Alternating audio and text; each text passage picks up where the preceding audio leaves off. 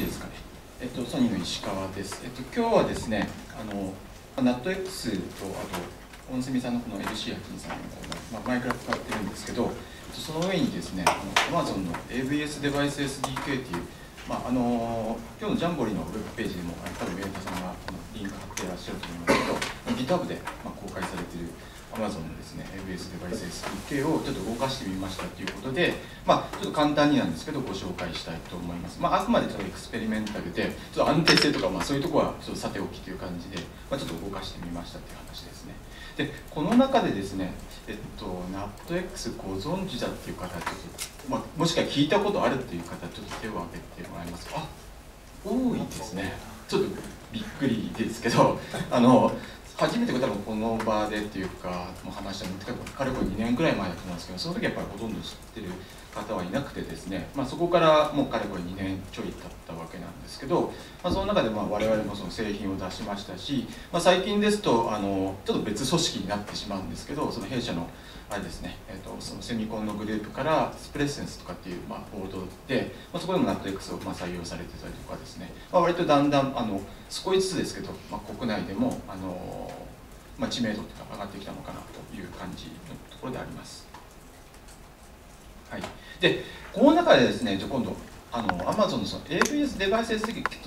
言葉は聞いたことある人多いんじゃないかなと思うんですけどこれを自分でビルドしてですね例えばまああのここに書いてますけどラズパイとかそれこそ Ubuntu とかですね、まあ、MacOS で何でもいいんですけどこれ動かしたことがあるっていう方ってどのくらいいます？あやっぱりそうなっちゃいますか。はい分かりました。はい。であの実際にですねあのまあ、これあのウェブページの方からあの、まあ、ウィキっていうかですねあの引っ張ってきたものなんですけどあの ABS デバイス系っていうのは、まあ、Amazon がですねもうかれこれもう 1, 1年以上前からって出してると思うんですけど基本はあの C++ ベース、まあ、実際に C++11 以降のまあインターフェースっていうかを提供してたりするんですけどあともう一つ特徴なのはですねあの、まあ、車線でも書いてあるんですけどそのコンポーネントベースになっておりましてでその API が公開されてるので、まあ、そのコンポーネントをまあ置き換えることが、まあ、理論的にはですね、まあ、できるような、まあ、そういうようなあの構造になっております。で、えーとまあ、このページ、えー、からもパクってきたばっかりなんですけど一応あのさっきのラズパイとかですね。あと Ubuntu とかあと MacOS とかあと、まあ、Windows64 ビット、まあ、そのあたりも、えっと、サポートされているようです。で僕実際初めて動かしたのは実はこれこの NATX のややるちょっと前くらいにああの Ubuntu で少し動かしてみようかなと思って動かしてあ動いた動いたと。でもしかしたらあのまあ、あの NATX も一応ポジックスベースなんですね。ただ、まあ、あの今回動かしているそのハードウェアがそのオンセミさんのあのハードウェアなんですけど、まあ、一応 SRAM が大体、えー、と1.6ちょっと後のページで出てきますけど、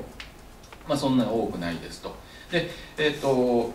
フラッシュの領域はまあ16メガ、まあ、これも後のページ出てきますけど、まあ、そこそこあるので、まあ、もしかしたらあのメモリサイズとかですねうまく工夫すればギリギリ動くんじゃないのかなっていうことでちょっとトライあのしてみましたという感じです。はい、でこれですね、えまあ、これもあの Amazon のその ABS デバイス SDK のそのページになる、まあ、そのまんま のあの図をあの分かりやすいと思うのでちょっと貼り付けてみました。で、えっと、例えばですね、まあ、左側からなんですけどあの音声のそのえマイクから拾った音をですね中にある、まあ、いろんなその AVS デバイス系のそのコンポーネントを通じてですね実際にはあのアレクサの、えーと、そのサービスにですね、まあ、つないで、まあ、その時にはあの HTTP2 で、まあ、TLS を使うんですけどでそのプロトコルで、えーと、つないだ後にですね、まあ、アレクサののサービスの方から、まあ、音声とかですね、まあ、各種そのコマンドとかで返ってきたものが、まあ、最終的には、まあ、メディアプレイヤーのそのインターフェースを通してですね、まあ、音声ですと大体あの MPEG2 あ MPEG オーディオですねの 24K のものだろうあ最初のあのマイクの方で言います忘れましたけどあの音声の方はあの PCM の 16K の16ビットモノラルでここは圧縮非圧縮なんですけどそれをあの打ち上げるとえー、っとアレクサのそのサービスがですね反応してで最終的にはまメディアプレイヤーをキックしたりとかですねあとそれそれ以外のあの API によってコマンドをキックしたりとか、まあ、そういったことができるような仕組みになっています。あとはですねあの今回ちょっと全然あのできてないんですけどあのキーワードディテクションっていうのがこの真ん中の部分にありましてでこのキーワードディテクションをですねあの実装してあげると例えば「アレクサ」ってあの多分呼ぶと呼びかけると思うんですけどその「アレクサ」っていったものをここで認識してですねでそれであの実際に、えー、アレクサのそのサービス側がそれを反応して返すということができるようになってます。で実際にはこのキーワードディテクションがなくてもですねいわゆるそのプッシュトゥートークっていうんですけど、まあ、今回のその、まあ後でデモビデオとかあのお見せしますがあのなんかそのキーを押してですねそれをトリガーにしてあの要は、えっと、ABS のそのサービスの方にですねその音声ストリームを投げたりとか、まあ、そういうのがあのできるような仕組みもあの用意されてますという感じですね。であとはですねこれ、まあ、メディアプレイヤーの部分これこれ白で、まあ、特にこれ水あ水色っていうかです緑の色は書いてないんですけど基本ここもですね例えばあの今公開されてるものとしてはその、まあ、G ストリーマーともしかしたら一部の方聞いたことあるかもしれないですけど、まあ、あのオープンソースでですねメディア系のその再生をする、まあ、フレームワークあの Linux 用で、まあ、昔からあるんですけど、まあ、その辺りの部分とかですねあと最近ですとあの Android のあの SLES 系のとつなぎ込むためのあのソースコードは一応公開されてます、まあ、そういう意味では、まあ、ここら辺この緑の部分とあとこのメディアプレイヤーの G ストリーマーとか Android あの SLES 向けのコードはえっとですね ABS デバイス S その GitHub の ABS デバイス SDK のサイトに行けば、まあ、コードは見ることができるという感じになります。はい。で続きまして、えっと、これがですね、えっと、今回、まあ、使っている、まあ、ハードウェアで実は、まあ、この数年くらいというか、まあ、このボードはちょっと使ってるんですけどもともとはですねあの2015年にも製品化してるんですけどその弊社のあのボイスレコーダー系ですね。とかあとウォークマン。ってといってもあのウェアラブル系のやつなんですけど、まあ、最近ですともしかしたらですね年末にかけてすごいあのもう CM バンバン打ってたんであの SP900 あの米津玄師さんのあの CM とか聞いたことあるかもしれないですけどあれも実はあのこのプラットフォーム使ってまして。で実際はですねあの NATX をそれを動かしてそのオーディオ製品を作ってきたんですけどそれと、まあ、並行するような形でですね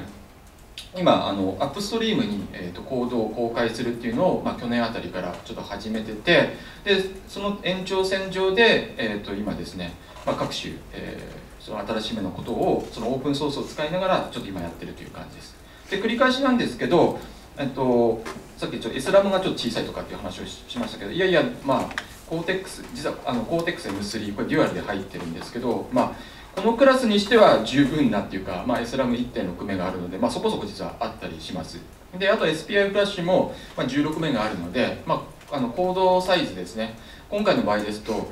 えっと、ABS デバイス SDK、まあ、そこそこ大きいんですね、まあ、あの特に、まあ、そこにに関しては特に削れなかったんですけどで実際まあ動いてない部分もかなりまだあるんですけどあの多分ビルドしてですねちょっとコードサイズ今日出してなかったんです多分3メガくらいはえーと、余裕であったような気がします。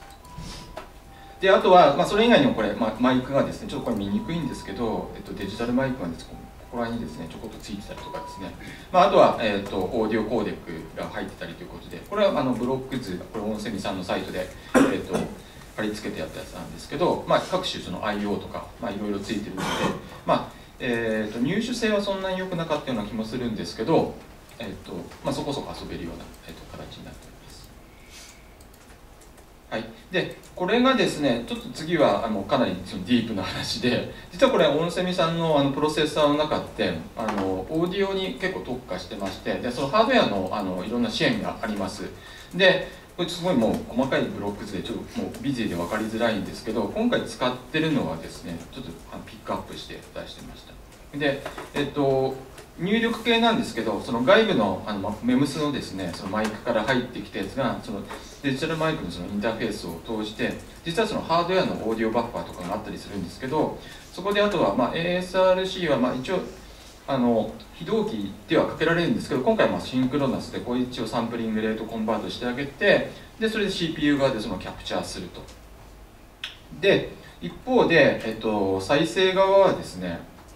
まあ、こんな感じで実は中にですねその MP3 のそのデコーダーがありますので、まあ、もちろんその DSP とかですねあの CPU でまあちょっとデコードしてもよかったんですけど、まあ、MP3 のあのハードウェアデコーダーがあるので、まあ、ちょっとこれを使ってみようかなと、まあ、実際にその製品でも使ってたりするんですが、まあ、それを使ってですねあとはサンプリング変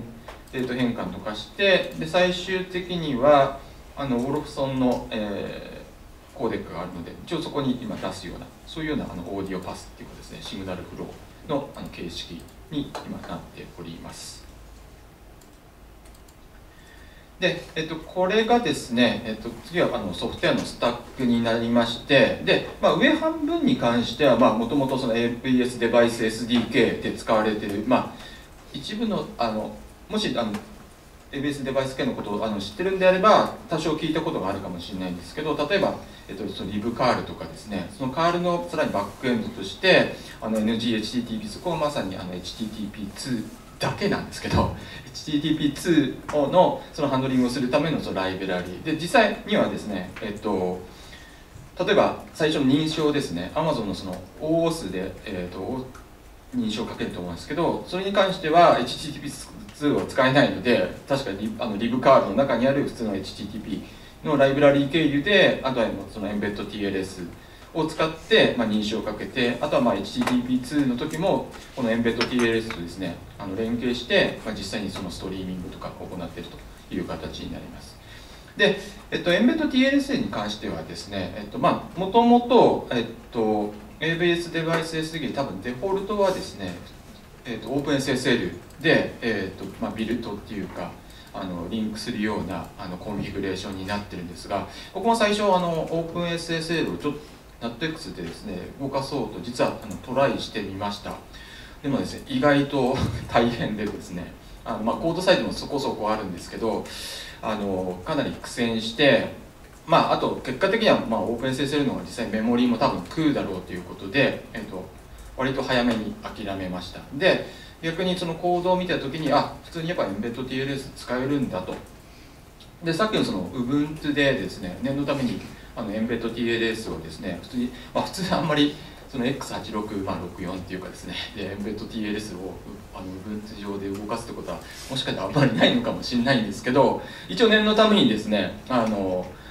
Ubuntu 上のあの X8664 で EmbeddedTLS も含めてあの ABS デバイス SDK が動くっていうのをちょっと確認した上でですねあの今回そのポーティングっていうかあじゃあ NATX 上にポーティングしてみようかということであのポーティングしてみました。あとそれ以外ですとあの libc あの XX ですね。あのまあ libc プラプラとも呼ぶんですけどあの C++ のあのテンプレートのライブラリなんですけどそれとかあとは結構ここも苦戦してるんですけど実は SQL ライト3あのこれも知ってる方はいるかもしれないんですけど、まあ、昔からあるあの SQL のいわゆるベースの、まあ、データベースなんですけど意外とこれもコード量もありますし、えーと、それを動かそうと思うと、まあ後でちょっとメモリの削減のとかありますけど、まあ、意外とあのちょっと面倒くさかったっていう部分もあります。であとは先ほどあの G ストリーマーとかそういう話もちょっと出ましたがもともとはですねあの G ストリーマーとかあ G ストリーマー自体はどっちかというと再生系に使ってましたあともう一つはそのポートオーディオっていう、まあ、汎用のそのオーディオの入出力のそのライブラリー、まあ、これも各種あの OS をサポートしているオープンソースのライブラリーがあるんですけどもともとそれがあったんですけどさすがにそれをですね G ストリーマーを移植してたら多分それだけでまたすごい作業量になってしまうので一番最初にですねあの ABS デバイス系のあのご紹介っていうかちょっと軽く言ったと思うんですけど要はコンポーネントのその API が切られてるっていうことでですねこのまあある意味そのメディアプレイヤーとかこのマイクのところのインターフェースが一応切られてるんですね。あの C++ 用のあのインターフェースが切られてるので、まあ、そのインターフェースに合わせるような形でですねあのこの辺りの、まあ、一応 NX、まあ、これ NATX という意味も含めて NX メディアプレイヤーとか NX マイクラッパーとかって書いてみたんですけど、まあ、一応その API をあの実装できれば、まあ、理論的には多分つながるはずだろうということのもとにですね、まあ、やってみましたという流れになります。はいでここからはちょっとあのいくつかそのやったことちょっと全部はですねあの書ききれないんですけどちょっと主なものだけをあのピックアップしてですねあのちょっとご紹介したいと思います。でまず最初何をやったかっていうとですね、まあ、どうしようもないことから結構始めてたりするんですけどっていうのもあと一番最初やってたのはです、さっきのコードサイズの話もあったりして実はあのオープンソースで、えーと、このオンセミさんのボードのその NATX 版のコードを実はコントリビュートしてしたっていう話はさっきちょっと軽く言ったかもしれないですけどえっと、結構最低限の部分しかあのコントリビューションしてなかったので例えばですね PI フラッシュあの実は最初使えませんでした。もちろんあの我々の製品としては使っておりましてコード的にも内部では持ってたんですけど実はそのオープンソース化するっていう部分をまだそこはちょっと優先度を低くしてですね実は公開してませんでした。でそこに関してはあやっぱりあのもう全然さすがに SRAM1.6 メガの上で AVS デバイス SDK のコードを全部動かすのは、まあ、絶対無理だろうと。それはさすがに思ったのでもうとっととあの SPI フラッシュをです動かすようにしてですねそこにコードを配置してあげないともうニッチもサッチもいかないなということでまずそこら辺から始めたのとあともう一つはこれもちょっと細かいんですけどあのメモリープロテクションですね、まあ、もちろんこれ我々ももともと製品でもやってるんですけど実はやり始めてから、まあ、さっきのメモリーが、あのまあ、少なくて、まあ、苦労し苦労っていうか削減してますっていう話をして、まあ、これからも出るんですけどそれをやり始めるとですね、まあ、普通にあのクラッシュするわけです。あのメモリーがやっぱり足りなくてとか。でその時にですね、まあ、実際にはあの Cortex-M3 系なのであの MMU とか特にないのですが一応その MPU といういわゆるメモリプロテクションユニットがあるので、まあ、あの完璧ではないんですけど、まあ、ある程度そのプロテクションはできるだろうということでそのプロテクションすることによってですねあのスタックとか、まあ、ヒープは完全にっていうわけでもないんですけど、まあ、ある程度その保護できるように、えーと、したりしてですねちょっとデバッグをしやすくしたりとかっていうのをやりましたであとは SRAM のサイズ変更ですね。これも最初コード公開した時にはあのそれほどのあのメモリーサイズっていうか最初コンフィグレーションではあの使うようにしてなかったんですけどそれを今フルで、えっと、使うようにしてます。であとはさっきのオーディオのところですね。その再生系とあとキャプチャー系。これもオープンソースにした時には最初オーディオ系の対応を、えっと、一応入れたことは入れたんですけどあのまあ、PCM しかやってなくて PCM の再生だけですね。再生しかやってなくてでそれを、まあ、ちょうど去年のあの ELC のちょっと今年は半半年スリップするっていう話がさっき上田さんとかティムからも流れてたと思いますけどあのちょうど去年のあのポートランドでですねその発表した時もあの普通の PCM の再生だけしか行か行ってなかったんですけど今回はその MPEG のオーディオをですねそのさっきのハードウェアのそのデコーダーでサポートする話をちょっと入れたりとか、まあ、これ本当にもうあくまでもう準備ですね。でここからが、まあ、ちょっとずつあのあのベースデバイス SDK を動かすために必要な変更ってなってんですけど例えばあのさっきの IBC あのプラプラの話なんですけどあの実際にはコードを見るとですねエクセプションを使ってるところがあります。で実際これ我々はですね IBC プラプラ使ってるんですけど実際その C++ のそのエクセプションはあのディスエブってあの使わないっていうポリシーでやってたんですけどもともと ABS のデバイス SDK の方は一部あのエクスプレッションをハンドリングするようなコードが入ってるのであのここはちょっとあのイネーブルにする必要がありましたと。ただ、えーと、完璧にこれやるためにはですね本当にあのエクセプションハンドリングの部分をあのかなりネネイティブっていうかの部分までそうやってるしかなくてですね、えー、それこそまあ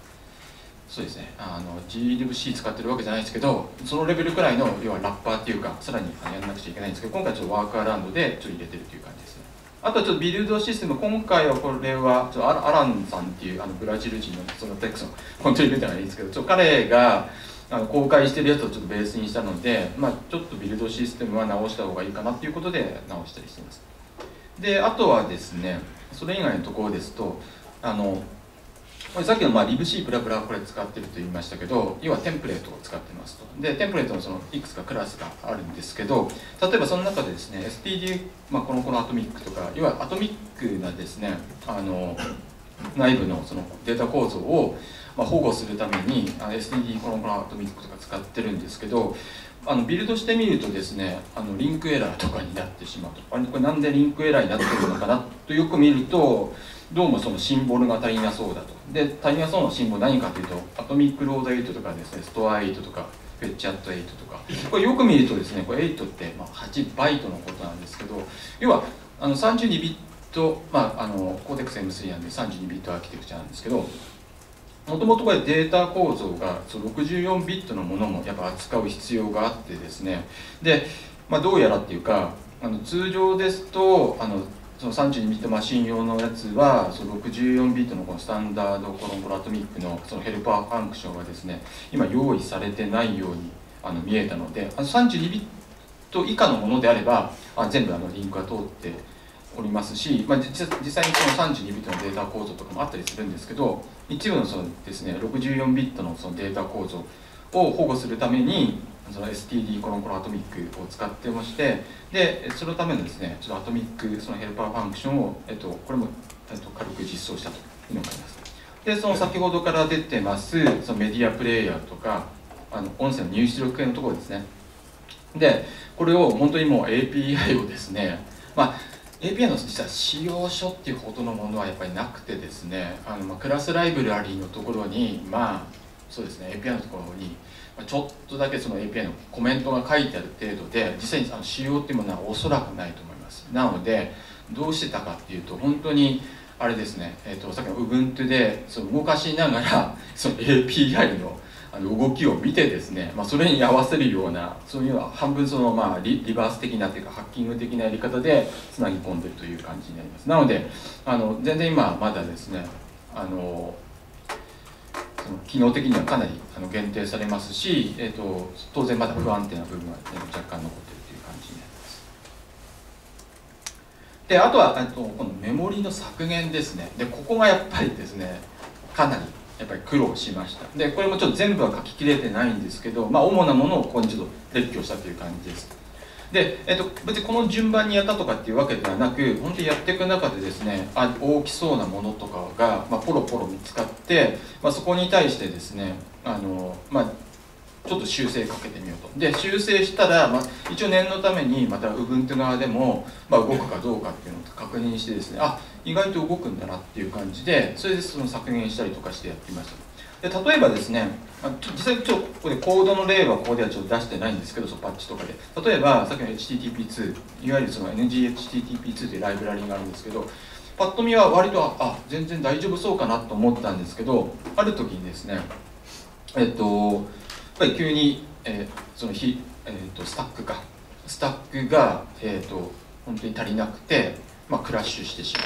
という問題にぶち当たりました。でその時に、えーとまあ、エクセプションが発生したのでとりあえずデバッガーでブレイクしておいて コールスタックを追いかけてでどこで大きなのをあの確保してんのかなと思ってあのコールスタックをあの登ってその GDB とかで追いかけてみたところ NGHTTP にぶつかったということででパッとコードを見たらですねあスタック上にまあ、そこそこ大きなって。っても多分 64K とかそのくらいだったような気がするんですけどああやっぱりそのくらいのやつはまあ普通に何ちゅうね組み込みっていうかあんまりやってなければ、まあ、そのくらいきっと取っちゃうよねと。でやっぱりあの後でも出てきますけどやっぱスタックサイズのところはそれなりに気を使って削減してたりもしますのでで、まあ、ここは削減したいかなということで、えっと、スタックからですねあのヒープにあの確保し直すっていうふうにちょっとコードを変更したりしました。これ本当はまあどっかでプルリクエストとかちょっと投げればいいかなと思ってるんですけどまだちょっとそこまでは準備できてないです。であと,、えーと、カールですね。カールに関してもまた似たような感じで実際動かし始めたらですね、まあ、そこそこメモリが食ってるなと。これ確か落ちなかったのかもしれないんですけど今度はあのヒープをですねあのでっかいヒープを、まあ、取ってる人は、まあ、ある意味ちょっとウォーニングを出すようにですねそれこそまあマロックとかそれこそあの、まあ、ニューとかですね各種メモリーアロケーターのところにちょっと簡単にフック入れてですねちょっと調べたところあれなんか大きいの取ってるやついるなと。これ誰かなと思って調べたところあカールで、まあ、って言ってもあの64キロとかだったりしたんですけどでコメントとか読んだらですね確かやっぱりあのスループットを改善するために、まあ、大きくしましたと。まあそりゃそうだよなと。今時やっぱちっちゃいサイズでそのネットワークやり取りするよりは、まあ、そこそこ多分帯域もあるので、まあ、大きい方がですね絶対いいだろうという判断のもとだと思うんですけどでその辺りのですねあのデフォルトのこういうサイズをあの変えてます。で次はこの SQLite ですね。SQLite とかいきなりまあメモリそう50メガって書いてますけど別にこれ50メガとか多分取ってるわけでもないんですけどあのその MAX でその確保できるあ MAX で多分 SQLite が多分ハンドリングする、えーと、そのデータベース内部のデータベースをそのオンメモリに持つところだと思うんですけどやっぱりですねそれを大きくその確保しようとしてるまあこれも当たり前っていうかそのデータベースをオンメモリでやることで少しでもあの高速にあの SQLite を多分実行したいからだと思うんですけどさすがにそこまではないなと。で一気に減らしたかったんですけど あの減らしてみたらですね全然動かないっていうそのあのキャスあのクラッシュしてしまってで今は十分でかいといえばでかいんですけど256キロまで、えーと、削減したら、まあ、動きましたと。でぶっちゃけですねこれあの ABS デバイス SDK これどこにあの DB っていうか SQLite なんか使ってるんだろうって思うじゃないですか。僕は思ったんですけどどこにそんな DB 使う必要があるのかなと思ったらコードをよく見たところ、まあ、例えばですけどその設定系とかですね。その、まあ、アプリの設定もそうなんですけどあとはその OAuth2 とか要はおおあの認証した時のそのトークンとかですね。その手のやつをやっぱキャッシュじゃないですけどしたりするために一応 SQLite とか、まあ、一応入れてるみたいです。ただそのデータベース自体には本当にやっぱ小さいですしできてるデータベースはですね。でそんなにまあこの程度のアプリであればおそらくそんなに使わないのかなと思うのでまあ SQLite を使うこと自体は割とまあそんなにちょっと立地すぎるのかなっていう気がします。これがですね、まあ、弊社のその製品のように例えばそのミュージックプレーヤーとかですねその何万曲とか扱ってそれをあの瞬時にその検索しかもアーティストとかそのジャンルとかその名前とかですねそれを検索したい時には、まあ、ある意味そのガチでですねあの、まあ、それっぽいデータベースを載せなくちゃいけないんですけど、まあ、この程度の、まあ、ABS デバイス SDK の今今の機能であれば、まあ、そんなにその SQLite3 ほどのですねデータベースの機能とか、まあ、必要ないんじゃないのかなというのはちょっと個人的なあの感想としてあります。であと AVS Device SDK のそのものですね本体。でいくつかあるんですけど意外とこれあのありがちなんですけど最初あの static const とかって書いてですけどこれ例えばえっと実際今日のデモとかでは多分入ってないんですけどその各種その notification 系とかいくつかそのサンプルのですね、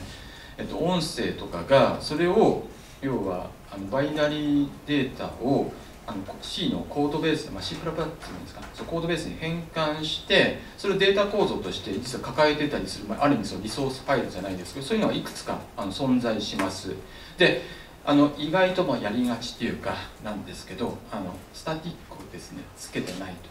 スタティックコンストですね。あごめんなさい。コンストをつけてない。あの普通のいわゆるあのグローバルなそのデータのところにあのいわゆるそのドットデータとかその辺りにあの確保するようになっちゃうんですけどでこうすると何が起こってしまうかっていうと要はリードオンリーの領域にあの配置しないことになってしまうのであのいわゆるそのメモリーっていうかですねあのラムを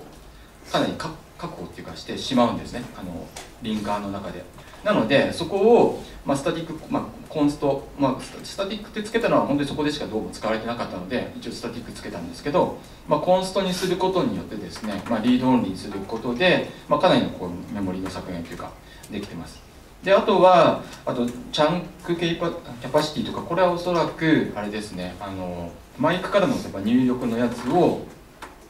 どのくらいのその単位で、えーと、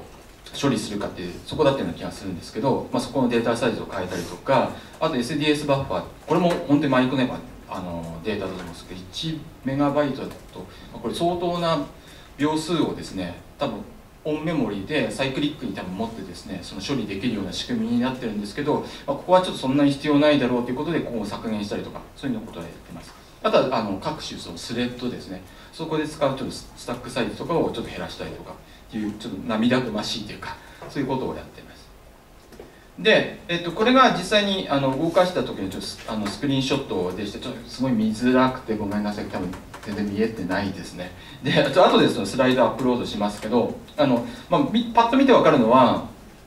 なんかすごいいっぱいずらずらってこれあの PS って打った時にナテックス PS って打った時なんですけどスレッドがいっぱい作られてますと。でこれはその ABS デバイス SDK もともとそういうどうも作りになってるみたいで例えばさっきのメディアプレイヤーのインスタンスとかですねもう別のスレッドであのもう同時に、まあ、ある意味待機状態になってその各あのフレームワークからですねのメッセージによって、まあ、動き出すようななんかどうもそういうような作りになってるからだと思うんですけどもういろんなあのスレッドが立ち上がってるとあとは裏でですねそのキープアライブじゃないんですけど AVS のそのデバイスあのサービス側とですねあのずっとあのコネクションを貼ってあのキープアライブでメッセージをやり取りしてたりとかあとはそのココネクションを切断したのをトリガーに再接続したりするとか、まあ、そういったものも全てあの別スレッドとかでいろいろ動くような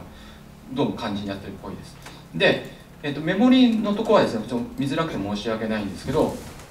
全体としてさっきま約1.6メガあると言いましたけど一部はそのカーネルとかドライバーであのラム使ってますので一応あのフリーって言った時にはですね1.4メガくらいあるように見えるんですけど、まあ、大体あの1メガくらい使ってると。で 400K 空いてるということで、まあ、大体まあこのくらいはどやっぱりあの最低でも使うのかなと、まあ、もちろん今後いろいろあの削減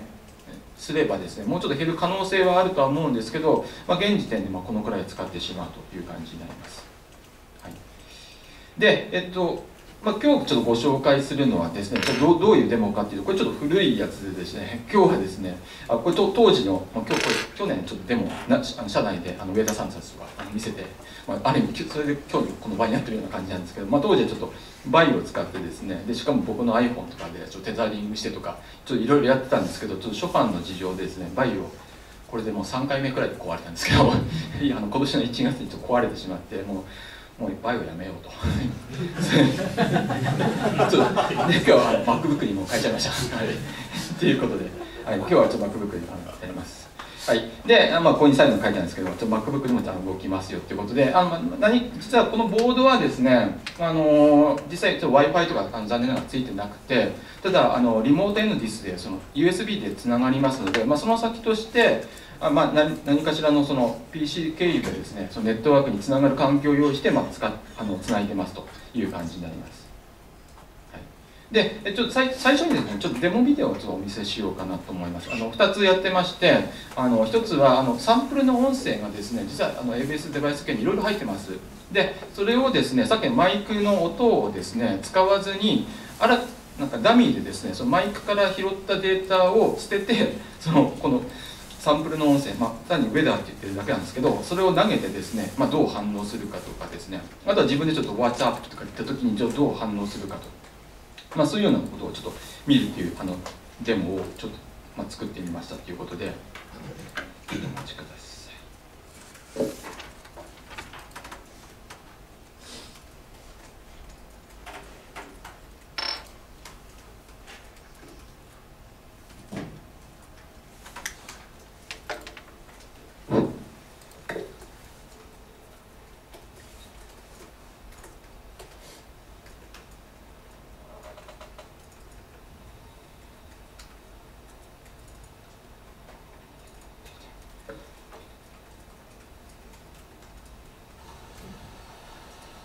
最初の方はですね、まあ、いくつか出してるんですけど、いろいろセットアップしてるので、ちょっとここら辺はちょっと端折ってですね、あここら辺からもう認証が始まってるところですね。ここでちょっとアレクサイズカライブリアイドルで、ちょっと見づらいかもしれないんですけど、ずらーっと今認証が通って、アレクサがですね、えっ、ー、と、アイドル状態になったっていう、これまあ ABS デバイス SDK をちょっと動かしたら分かるとは思うんですけど、あと一応分かるようにですね、そのログを有効にして、今これ HTTP2 でそのカールがですね、まあ、どう投げてるかというような感じですね。で今これサンプル音声多分投げたです。Currently, in East Queen Anne, it's 52 degrees Fahrenheit with clear skies and sun. Today, you can expect mostly sunny weather with a high of 53 degrees and a low of 34 degrees. まあ、こんな感じであのずっとあの HTTP2 のストリームが流れてるようなそういう感じになります今ちょっと準備してちょっとサンプル音声じゃなくてですねちょっと自分の音声に今切り替えようというところですね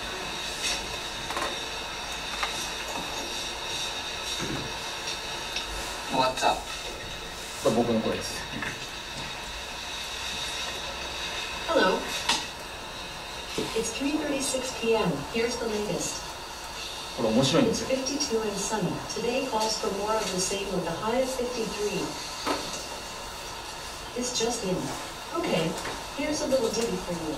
In Lafayette, a police dispatcher answered a call from a boy who said he had a bad day at school. The boy had tons of homework, and the dispatcher figured out that he was having trouble with fractions. A recording of the call posted on Twitter shows how the dispatcher helped the child solve the equation, 3 fourths plus 1 fourth. The boy thanked the dispatcher and apologized for calling 911. Police say they don't recommend calling 911 for homework help.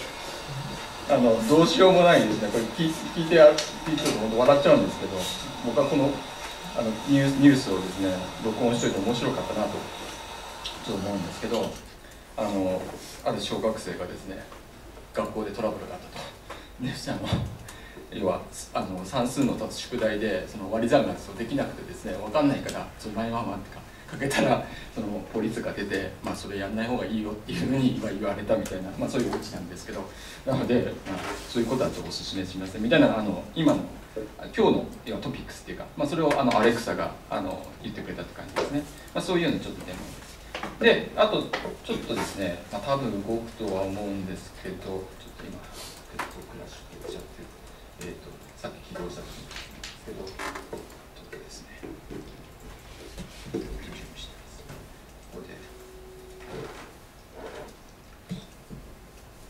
今ちょっと一応これボードあるんですね。でえー、っと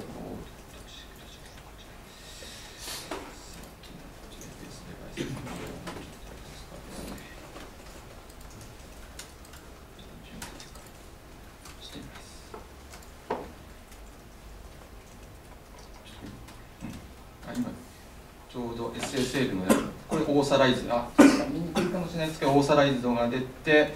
これがですねちょうどアレクサイズカレントリーアイドルって多分ここ出てるんですけど今ちょうどあのここの w i f i を通じてあこの MacBook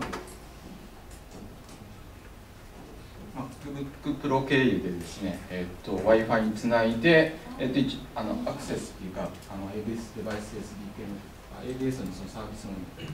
つないでるような感じになります。でこの状態でですねまだちょっとややらなくちゃいけないことがあるんですけどこれ今自動化されてなくてここでプレイヤーを自動化してみたでここでどうかどうかってありますけどこれで今またサンプルの音声をつないで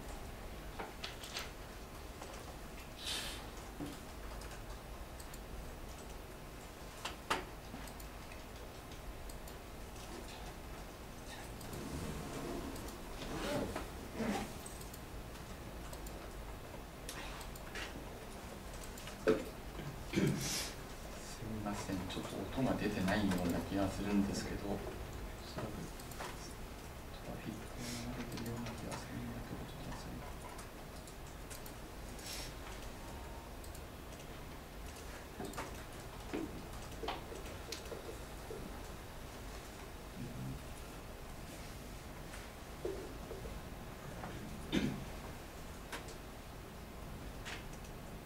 ごめんなさいもしかして音が出てないかもしれないんですけどなんかでもトラフィックは来てるんでこれちょっとトラフィックだけ出したんですけどちょっとごめんなさい音が出てないのは何かのトラブルかもしれないんですけどもしちょっと準備できたらですね後ほどまた音を出してもいいかもしれないですけど今日はですね先ほどのように、えっと、音がですね、えー、投げたらそのアレクサ側が今返事が出るっていうちょっとデモ、えー、とする予定だったんですけどち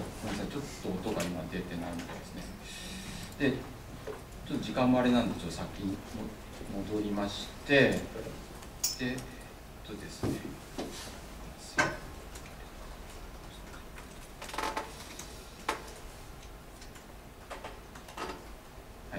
で、えー、っとまあ、先ほどからいくつかありましたように、えー、っとまあ、まだできることは実は大したことなくてですね。あの自分でその、まあ、喋った声もしくはそのダミーのその音声でですね通知されるっていう、まあ、それだけなんですけど、まあ、それ以外にもその AVS の方でですね、まあ、各種その notification みたいなとかそのタイマーとか、まあ、いくつか機能があったりするんですけどあとは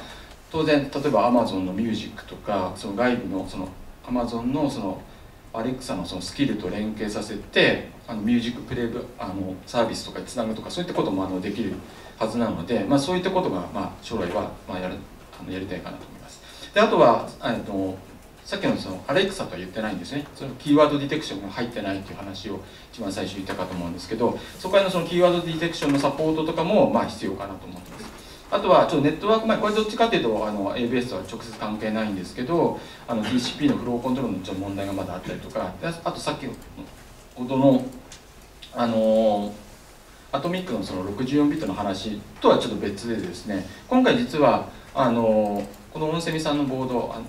本来はあの SMP のその AppX のカーネル実はあの僕が移植してるんですけど本当はそれで動いていいはずなんですけど実はあのそのオンセミさんのプロセッサーのちょっと仕様として、えー、アトミックのいわゆるその何でしたっけ、えーと、ARM のあのストアエクスエクスクルーシブとかあのロードエクスクルーシブとかそういうのは使えないのでその辺りをですねハードウェアミューテックスとかで置き換えるというようなことをしないと、まあ、SMP の環境では、まあ、おそらくクラッシュしてしまうかなということで、えっと、今回は実はシングルで動かしてるんですけど、まあ、あの SMP で動かすためにはまだ変更も必要でしょうという感じになります。はい、でこれ最後ですけど、まあ、今までいくつかあの発表してますので、まあ、それへのそのリファレンスのポインターをちょっと発表しました。はい、駆け足でしたけど以上です。なんか質問があれば、はい。はい。うちも、うちはあのマテックスじゃなくて UC リラックスとかよく、はい、よくよく最近じゃないですけど前動かしたりとかして、はい、あのよくつまずくポイントとしては、フォーク使ってるとメニューがないので、はい、新しいページ作れなくて、はい、問題があって、まあ、V フォークに置き換えはい、そうですね、V フォーク、はい。するんですけど、HTTP とか、今、じゃじゃ使ってそうなイメージがあるんですけど、そういうのってなかったですか？えっと、今回に限って言うとなかったです。あの先ほど、まあ、ちょっとざーって出たと思ってあのごめんなさい見えなかったかもしれないですけど実際にはあのそうですねあの libc プラプラのあの std コロンコロンスレッド経由の p スレッドに置き換わるという感じですね基本全部スレッドで、えー、ベースのあの内部の構造っていうかに少なくともあのあ最初バージョン言うの忘れちゃったかもしれないですけどあの当時見見てたあの ABS デバイス SDK のところは少なくともフォークではなく全部その p スレッドになるような感じでした。はい。はい、他に質問ある方っていらっしゃいますでしょ